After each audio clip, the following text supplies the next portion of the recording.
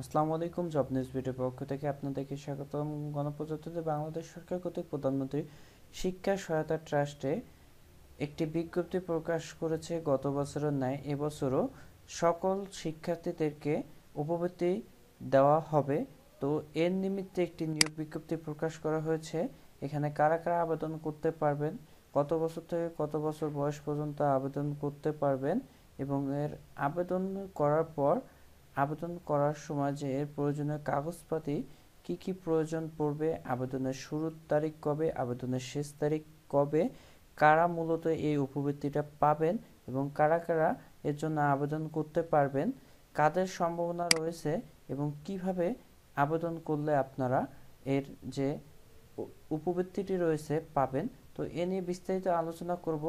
তো বিস্তারিত ভিডিওটি শুরু করার আগে আপনাদের কাছে একটা রিকোয়েস্ট যারা আমার চ্যানেল নতুন, অবশ্যই আমার চ্যানেলটাকে সাবস্ক্রাইব করবেন আর যারা অলরেডি করেছেন, তাদেরকে অসংখ্য ধন্যবাদ। তো এখানে কারা কারা আবেদন করতে পারবেন? এখানে ষষ্ঠ থেকে ষষ্ঠ থেকে অনার্স পর্যন্ত মাস্টার্স ডিগ্রি সকলে আবেদন করতে পারবেন। তো class six seven eight nine ten eleven twelve twelve তারপর অনার্স, মাস্টার্স সকলে আবেদন করতে পারবেন। তো চলুন দেখা যাক এর যে বিজ্ঞপ্তিটি দুই হাজার একুশ বাইশ অর্থ বছরের পরিচালনা বাজেটে মাধ্যমিক উৎস, শিক্ষা বিভাগ, শিক্ষা মন্ত্রণালয়, আওতাধীন শিক্ষা প্রতিষ্ঠান, শিক্ষা কর্মসূচি, ছাত্রছাত্রীদের জন্য বিশেষ মঞ্জুরি হিসেবে বরাদ্দকৃত অর্থ উপযুক্ত শিক্ষা প্রতিষ্ঠান, শিক্ষক কর্মসূচি, ছাত্রছাত্রীদের ষষ্ঠ, স্বচ্ছ ও সুষ্ঠুভাবে বিতরণের লক্ষ্যে ইতিমধ্যে শিক্ষা প্রতিষ্ঠান শিক্ষক কর্মসূচি, ছাত্রছাত্রীদের অনুদান প্রদান অনুসারে নীতিমালা সংশোধিত জারি হয়েছে।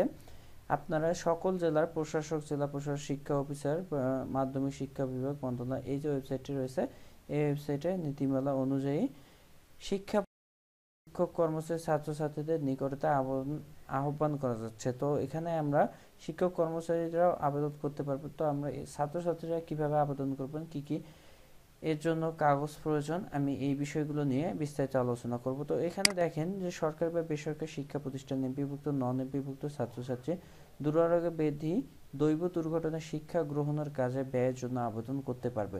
তো এখানে যারা শিক্ষার্থীরা রয়েছে, আবেদন করার ক্ষেত্রে অবশ্যই শিক্ষা গ্রহণের কাজে ব্যয়ের জন্য আবেদন বাবদ আপনারা আবেদনটি করে থাকবেন। তাহলে আপনারা সহজেই আপনার যে উপবৃত্তিটি রয়েছে, পাওয়ার সম্ভাবনা রয়েছে। তবে এই বিশেষ মঞ্জুরি প্রদানের ক্ষেত্রে দুস্থ, প্রতিবন্ধী, অসহায়, রোগগ্রস্ত, গরিব, মেধাবী, অনগ্রসর সম্প্রদায়ের ছাত্রছাত্রী অগ্রাধিকার প্রদান করা হবে। উক্ত খাতে মঞ্জুরি অনুপ্রদান জন্য আগ্রহী শিক্ষা প্রতিষ্ঠান প্রধান ছাত্রছাত্রীদের আগামী একলা ফেব্রুয়ারি দুই হাজার বাইশ হতে আঠারো ফেব্রুয়ারি দুই হাজার বাইশ তারিখে আবেদনের শুরুর তারিখ এক ফেব্রুয়ারি দুই হাজার বাইশ এবং আঠাশ ফেব্রুয়ারি দুই হাজার বাইশ তারিখের মধ্যে মাধ্যমিক এই যে ওয়েবসাইটটি রয়েছে, মাধ্যমিক উচ্চ মাধ্যমিক শিক্ষা বিভাগের ওয়েবসাইটটি এই ওয়েবসাইটের মাধ্যমে আবেদন করতে হবে। তো ছাত্রছাত্রী আর্থিক অনুদান আবেদন ফর্ম বাটনে ক্লিক করে অনলাইনে আবেদন দাখিল করতে হবে। তো বন্ধুরা, আপনারা যদি বলেন আমাকে কীভাবে আবেদন করতে হয়, আপনারা কমেন্ট করে জানাবেন এবং আমার ভিডিওটাকে অবশ্যই লাইক করবেন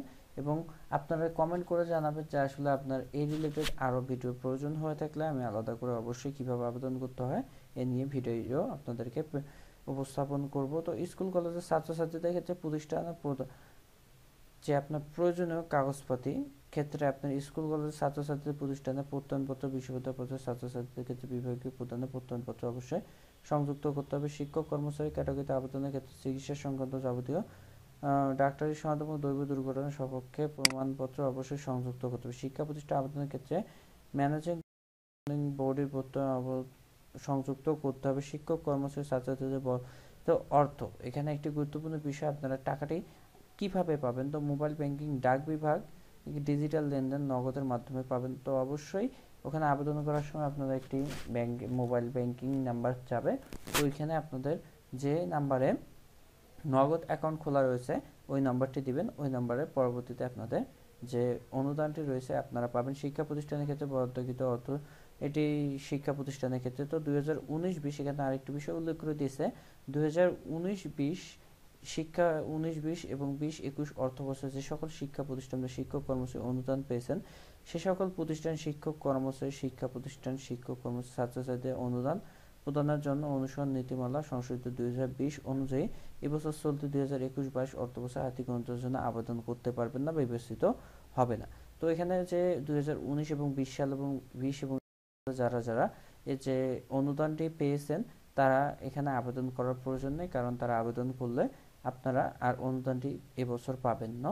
পাবেন না তাই তাই জন্য আবেদন করা প্রয়োজন নেই। তা দুই হাজার বিশ একুশ অর্থবছর যে সকল ছাত্রীদের অনুদান, সে সকল ছাত্র শিক্ষা প্রতিষ্ঠান, শিক্ষক ছাত্রী অনুদানের প্রদানের অনুসারে শীত নীতিমালা সংশোধন অনুযায়ী এবছর চলতি বছরে আর্থিক অনুদান আবেদন করতে পারবে না বা বিবেচিত হবে না এবং আবেদন প্রক্রিয়া আবেদনের সময় কোনো হার্ড কপি গ্রহণ করা হবে না। হার্ড কপি এরা নিবে না, এরা বলেছে যে অনলাইনে মাধ্যমে স্ক্যান কপি করে দিলে হবে।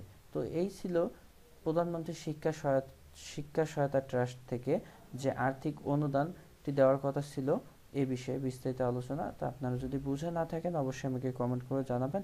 এবং যদি আবেদন কীভাবে করতে হয়, এ নিয়ে যদি ভিডিও বানাতে বলেন, অবশ্যই আমি ভিডিও দিব।